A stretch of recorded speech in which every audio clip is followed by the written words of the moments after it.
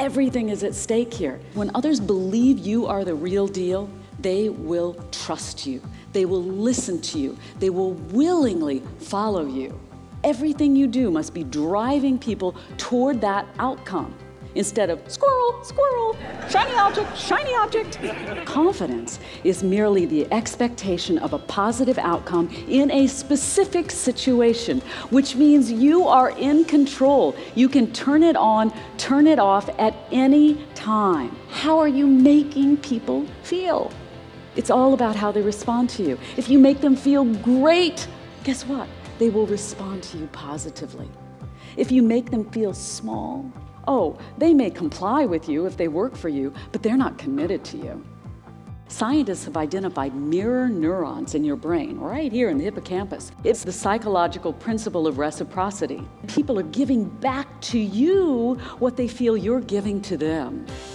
Connie Dieken is the author of several best selling books. She combines the keen instincts of an experienced journalist, skilled at drilling to the core of an issue, with the compelling insights of a leading executive coach to the world's most powerful brands. You are a communicator in chief. The people that you lead are under the influence of you. If you'll just stop communicating to inform and start influencing, you will see an amazing change in how people respond to you.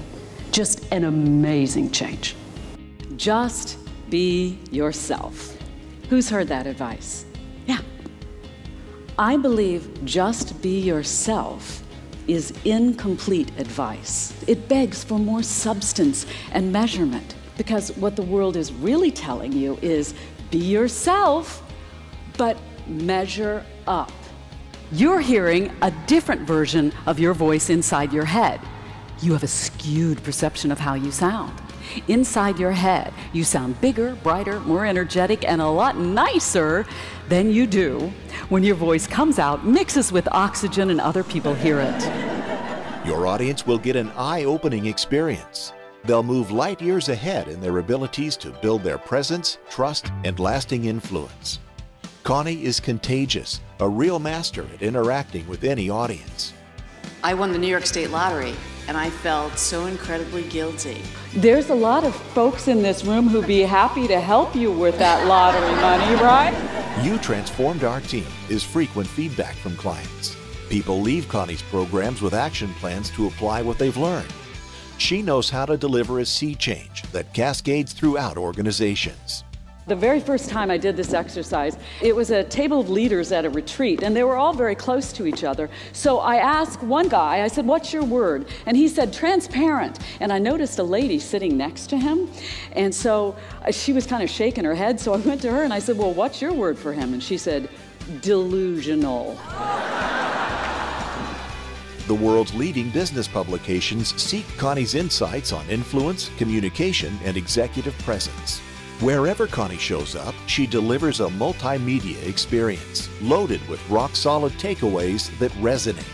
Today, we need a new, more concise approach because people are bombarded with way too much information. So, how do we do that? How do we become a better conveyor?